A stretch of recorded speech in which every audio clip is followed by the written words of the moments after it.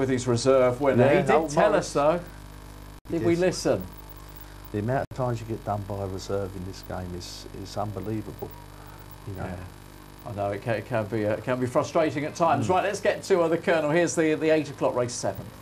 He checks them over, waves the flag. That means hares on the move.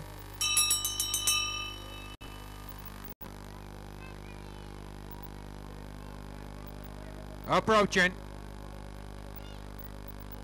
Off and racing, and a good break made there by the two. Into the turn we go, and two will lead the one, then back to three. Off the second bend, and Aero Babooshka leads there, and leads there for Mark Wallis Kennels by a good three. Four lengths from the three in a clear second, then back to six, gap to four, then one and five, all on his own. The Rainbow approaching the finer band, the blue jacket shot clear off the finer band. Get ready, here we go. If you're on the blue, get in the queue. Two is you win a six.